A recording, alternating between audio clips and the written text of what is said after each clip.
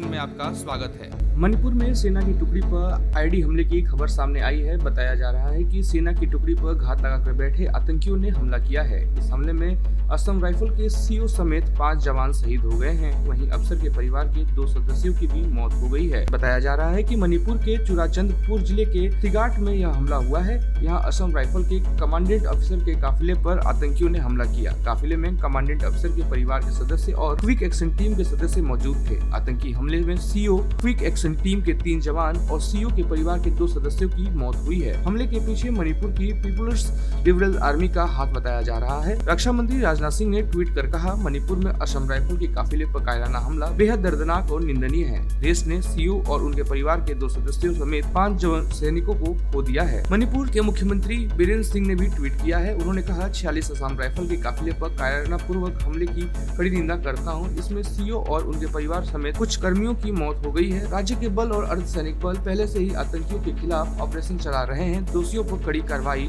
होगी। मणिपुर की people liberals army का गठन 1978 में किया गया था। इसे भारत सरकार ने आतंकी संगठन घोषित किया है। मणिपुर में यह संगठन धोखे से भारतीय सुरक्षा बलों पर हमले भी करता आया है। इस संगठन का गठन विशेष सिंह ने किया था। यह आतंकी संगठन स्वतंत्र मणिपुर की मांग करता रहता है। स्टेशन के लिए रोशन की रिपोर्ट।